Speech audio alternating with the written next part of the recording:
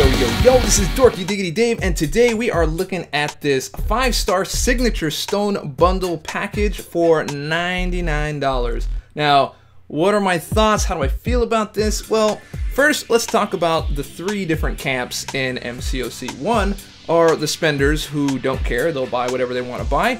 Uh, you have the non-spenders who also don't care and will never spend.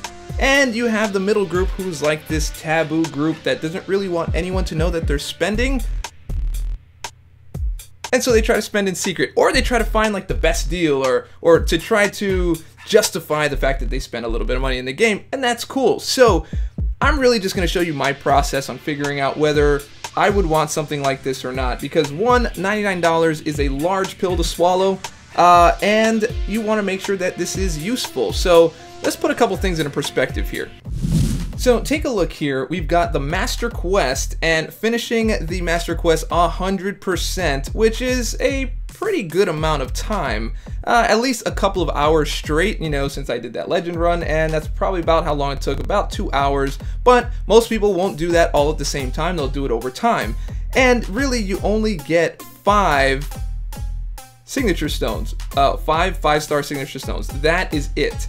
Now, uh, I think what Kabam is doing is they're really trying to place a lot of value on these signature stones. They don't come around very often, and they're not all that easy to get. Uh, it's not like you get the expert proving grounds where you can get generic five star signature stones. That's really just for four stars, and even that requires a little bit of a grind. So, how bad do you need it? Uh, and do you even have the heroes where you can take advantage of it? In my case, I go into my champions and I, let me see, filter out my five stars, and I really only have three dupe champions, um, and I don't really care to take their signature levels up that high, except for possibly Captain Marvel here.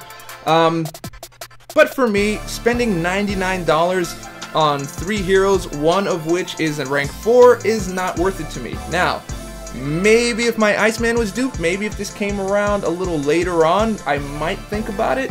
But for now, I don't have utility for it. So I think it's a good idea for you to take a look at your champions, take a look at your roster, and then figure out whether that is worth it to you, the time you put in, how many of those master modes you want to complete before you get 80 of the class versions, which is going to give you random, or the 20 of the generic signature stones, and see if that's worth it for you. So let me know, do you have the champions to take advantage? Do you think this is a good deal?